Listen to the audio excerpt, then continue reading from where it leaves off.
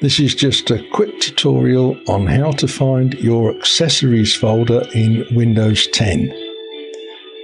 If you click on the Start button, click All Apps, and scroll down to the W's, you will find it here under Windows Accessory. And you've got lots of tools in here, the snipping tools in here, which some people's finding it difficult to find, but all your Windows accessories are in this folder, and that's how to find it. So that's it for this quick tutorial. Thanks for watching. Bye for now.